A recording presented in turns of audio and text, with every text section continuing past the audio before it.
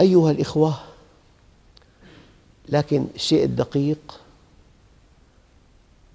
وإن الذين لا يؤمنون بالآخرة عن الصراط لناكبون.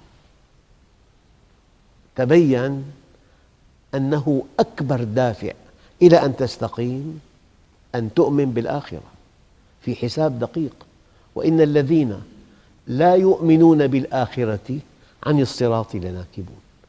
أيها الإخوة الكرام موضوع الاستقامة هو الدين كله.